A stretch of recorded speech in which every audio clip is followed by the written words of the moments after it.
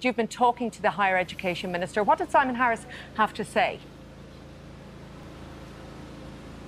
Look, let Simon Harris not surprised, as many of us weren't surprised by the footage which uh, uh, floated on social media last night, uh, showing dozens and dozens of people uh, queuing effectively round the block uh, to get in for a rental viewing for a property in North Dublin. Uh, the footage captured last night, shared thousands of times across social media, and really speaking to a problem which has been escalating, particularly around Dublin, as well as Cork and Galway cities, main urban centres, in recent times. So these sort of scenes not uh, entirely alien to anyone who's been living in Dublin uh, for the last number of years. But Simon Harris pointing out that there is a real uh, squeeze around student accommodation as term time resumes uh, over the coming weeks. Uh, there has been a real problem in terms of students securing accommodation for term time. As well as that, there has been, of course, the issue where a number of Ukrainian refugees have been uh, accommodated in student accommodation over the summer months. Some of them will now be moving out of that, and that is real, adding a crunch in terms of the Ukrainian accommodation situation too.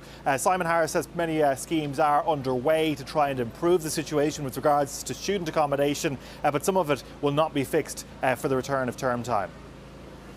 Well, I have seen the video, and I, I you know, regularly see things on social media, and there is absolutely no doubt that there's a real housing supply issue, and government is working through housing for all to increase housing supply.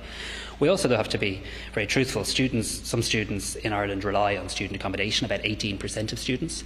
Um, some students reside at home um, during their student life. Many people in my own hometown are fortunate enough to live within a commutable distance, and for others that's not the case.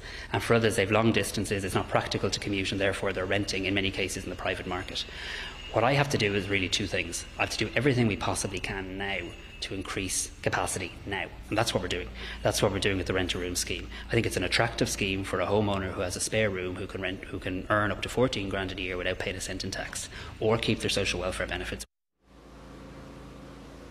Simon Harris there uh, boosting really the digs accommodation option in terms of student accommodation. He does says uh, more campuses need to provide uh, their own accommodation with the support uh, of government funding, uh, but the rental situation, private rental situation, does remain a, a, a, real squeeze, particularly, as I say, around urban areas. Just looking on daft.ie as we speak, uh, 793 uh, rental accommodation uh, properties around the entirety of the state. Uh, that really not enough in comparison to this time last year when it was about 2,400, Colette.